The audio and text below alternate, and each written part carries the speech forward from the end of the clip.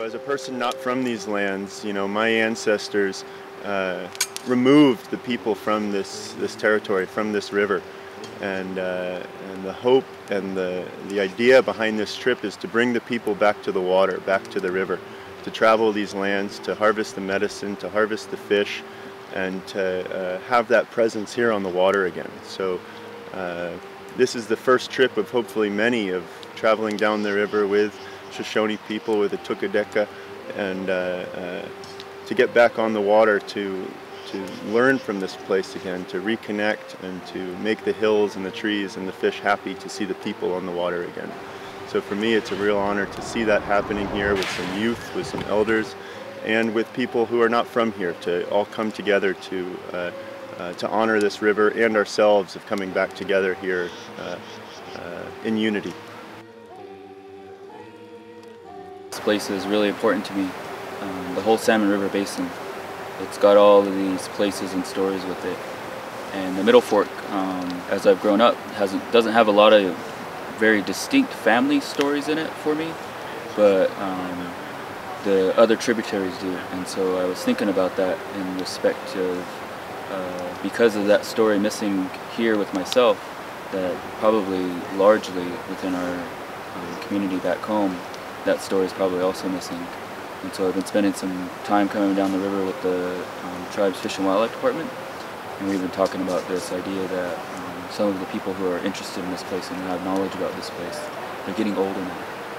And because they're getting older now, we need to make sure that what they know gets passed on to the next generations. We need to have that legacy of uh, that place of who we are here. Because there's been too many generations that we have not lived here. Uh, been over 100 years now that we haven't been in this place, and so we want to come back to it and be here again. And that's what we're trying to do here. Uh, we're using some tools of science to, to use to uh, understand some of our past history in this place.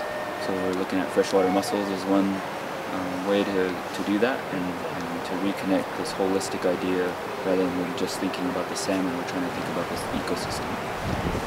So we're coming back into this place that way, uh, more the way that we would think about things and so um, and parts of that also is not just the science, but we also want to, want to um, bring people back to the culture, the past culture, also making that culture present again to today and then looking at it in the future. And so we've been stopping at these cultural sites as we're going down the river. So we're doing science and we're looking at cultural sites. And a lot of these cultural sites are pictographs. And so we're looking at this art.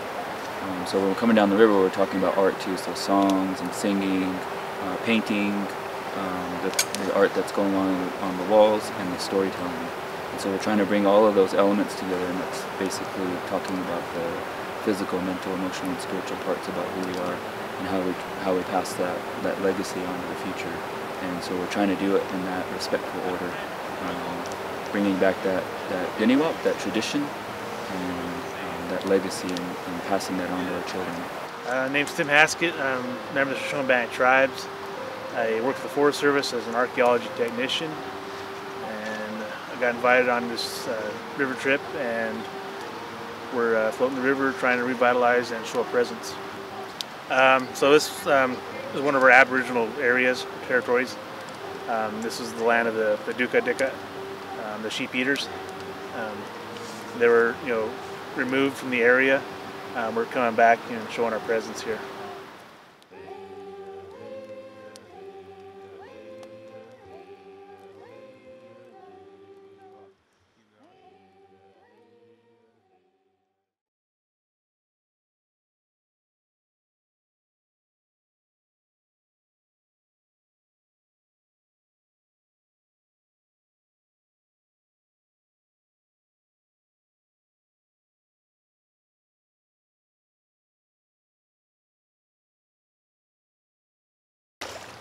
Kiss fish.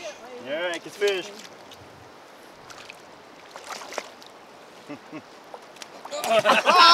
get it!